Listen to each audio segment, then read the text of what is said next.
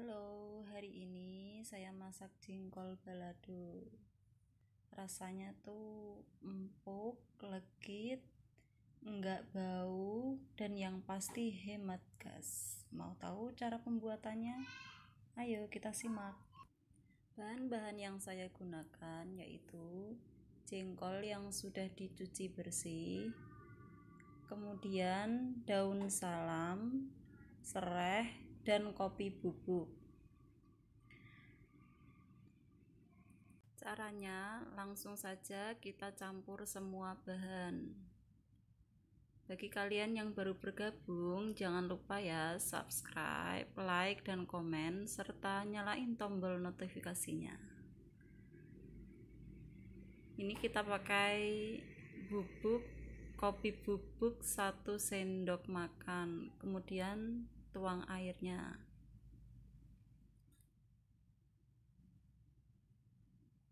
Setelah itu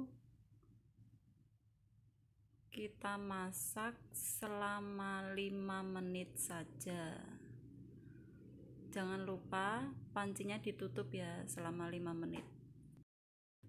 Setelah mendidih dan direbus selama 5 menit kemudian kita matikan api dan diamkan selama 30 menit dalam keadaan panci tetap tertutup. Sembari menunggu, kita persiapkan bumbunya.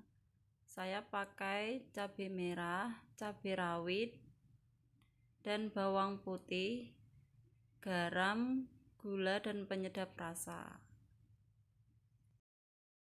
jadi saya pakai metode 5 menit direbus kemudian 30 menit dimatikan api kemudian nanti 7 menit direbus lagi. Itu biar hemat gas ya teman-teman. Tapi hasil jengkolnya itu tetap empuk dan legit. Dan selama proses itu panci harus selalu tertutup rapat. Setelah 30 menit kita rebus lagi selama 7 menit dan hasilnya seperti ini. Kita coba. Udah empuk. Udah kita matikan apinya. Kemudian kita buang airnya dan cuci sampai bersih. Terus kita lanjut geprek jengkolnya seperti ini atau kalau mau jengkolnya diiris-iris aja juga nggak apa-apa.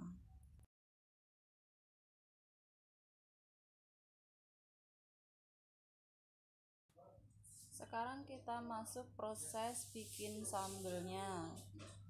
Ini tadi cabai sama bawang yang sudah dihaluskan.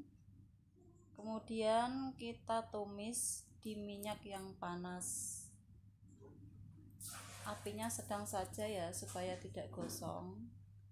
Dan jangan lupa diaduk-aduk terus supaya tidak gosong.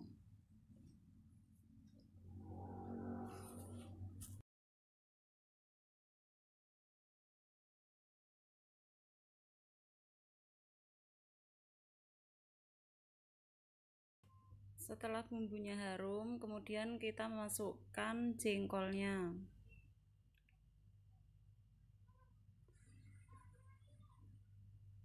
dan kita aduk. Nanti dikasih air sedikit supaya bumbunya meresap.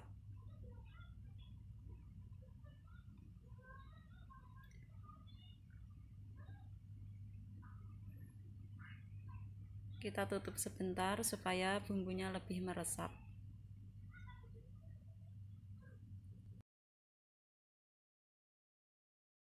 Ini sepertinya sudah mulai matang